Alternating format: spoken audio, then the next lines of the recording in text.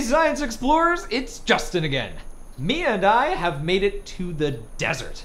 I'm so glad I learned how to adapt to the dry season in the savannah because it is even drier here. And right now, it's hot, but weather report says it's going to drop to near freezing after the sun goes down. I hope I packed a jacket. The desert biome is known for its lack of resources, but plants and animals still manage to survive here. Let's uncover why the desert can be so harsh and how living things are still able to call this place home.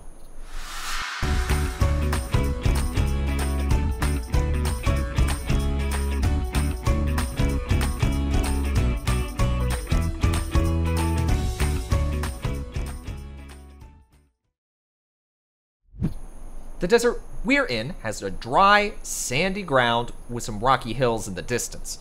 But deserts can look very different depending on what part of the world they're in. Some deserts are entirely made up of sand. Other deserts have high mountains, and some have vast canyons that cut deep into the ground. But one feature they all share is that they are made up of dry ground cover, like rock or sand, rather than soft, moist soil or grass. Why? Because a desert biome is characterized as an area that receives less than 10 inches of precipitation a year, meaning very little rain or snow. Deserts are located on all seven continents of the world.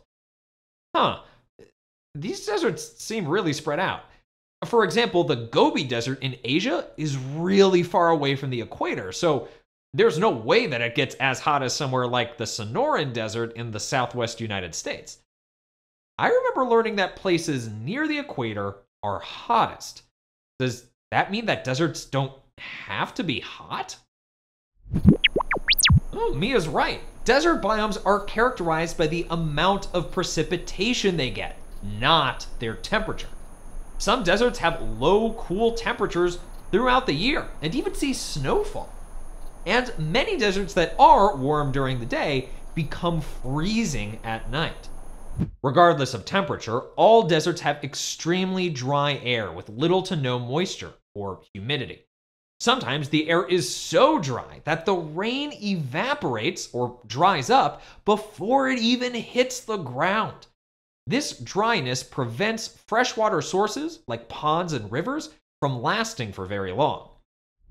We've learned that living things need light, space, nutrients, air, and water to survive.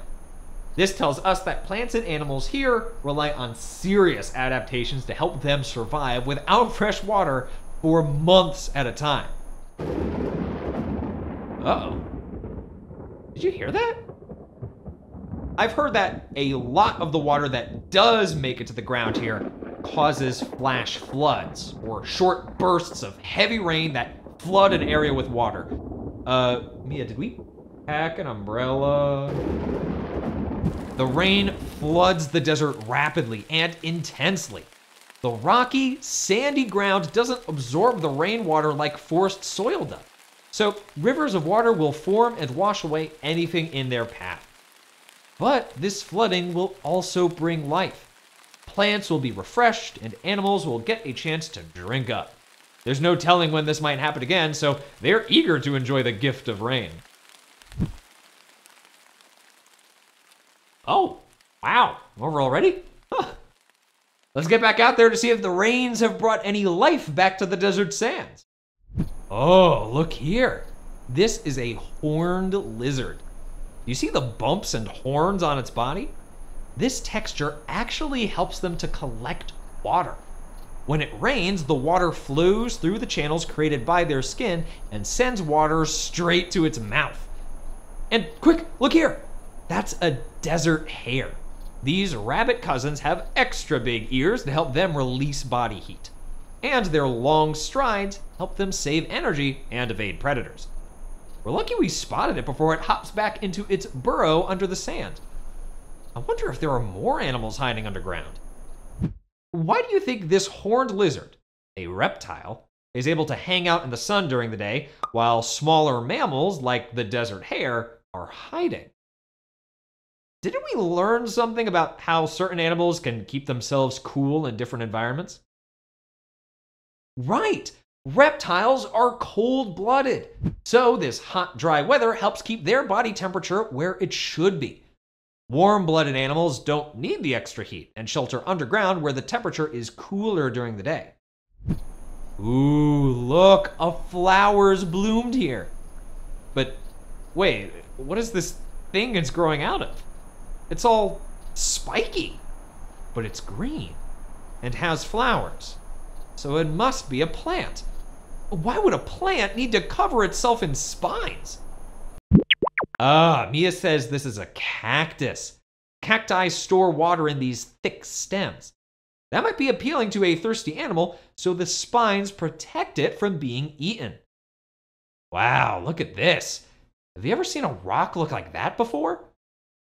In all of the places that we've explored, I haven't seen anything like this. I wonder if it has something to do with the dry weather here. How do you think something like this is formed? Pause the video and take a moment to write down your ideas in your field notes. When the wind blows here, lots of tiny particles from the dry, sandy ground are picked up and blown across the land. Over time, these particles wear away at rocks and other land formations, slowly carving them into new shapes. This is called erosion. When natural forces, like wind or water, move soil, rock, or sand from one place to another. Water can also cause erosion. That flash flood we just saw formed a shallow path of water. The sand and rocks were pushed out of the way and carried somewhere else, leaving a new space in this land. Erosion changes the landscape very slowly in many different biomes. We can see erosion at its most extreme here in the desert, where the conditions are just right for it. Wow, I can't believe that the river of water we saw has dried up completely. That goes to show how dry it is here in the desert. I wonder how plants like that cactus are able to grow as big as they do with so few resources. Next time, let's take a closer look at the plant life here and how they adapt to the lack of water and nutrients here in the desert. Thanks for coming along with me today. Remember, the wildest discoveries are yet to come. Until our next journey, science explorers. Hey.